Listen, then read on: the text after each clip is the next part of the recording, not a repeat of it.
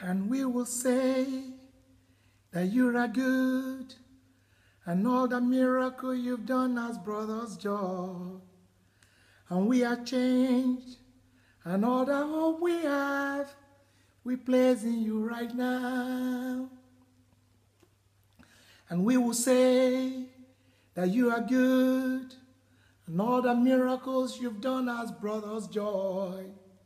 And we are changed, and all the hope we have, we place in you right now. Father, we declare that we love you. We declare our everlasting love for you. Father, we declare that we love you. We declare our everlasting love for you. Even in this season of Thanksgiving, the only scripture that kept on standing out in my mind is the same scripture that has always stood out in my mind every thanksgiving. Lord, we thank you. We bless you, just as Paul Apostle said to the Ephesians, by declaring to them, Let's give thanks unto the God and the Father of our Lord Jesus Christ, who has blessed us, blessed us, blessed us with every blessing that's considered to be spiritual in the heavenly places. Yes, Lord, thank you. I want to thank God in this Thanksgiving period for you and your family, and for myself and my family. Those that are connected to us, those that we are connected to, those who have blessed us, and those who have been a blessing to.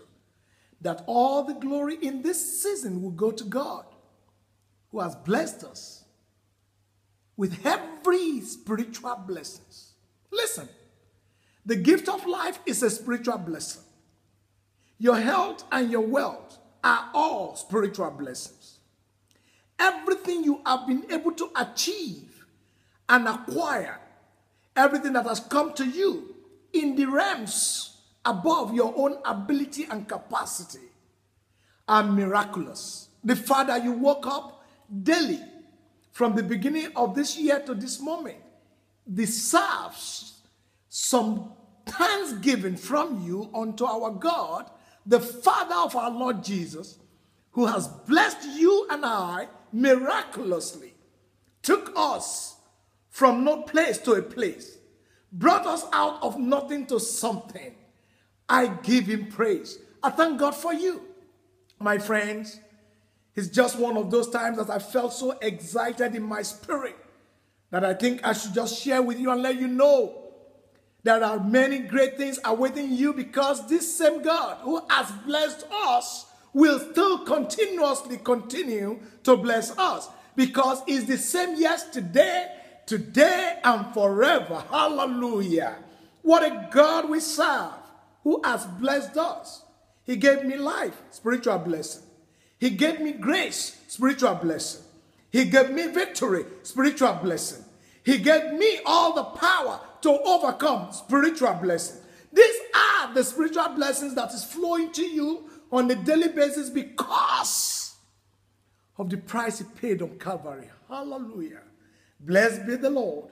And we give him thanks. Father, bless us even as we bring our thanks offering and thanksgiving to you. As we bless you with the seeds of our lips by telling you you are wonderful, you are glorious, you are gracious. We thank you because you've been our blessing. You've been the shield over us and our families.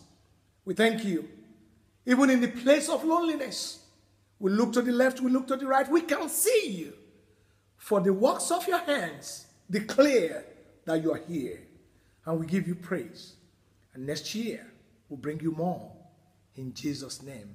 You want to bless him? You want to bless him? You want to bless him. I say you want to bless him. I say you bless him. Come on, you bless him. Hallelujah. You bless him because you are blessed beyond the curse. This is Pastor Victor coming to you from my little garden saying happy Thanksgiving. God bless you.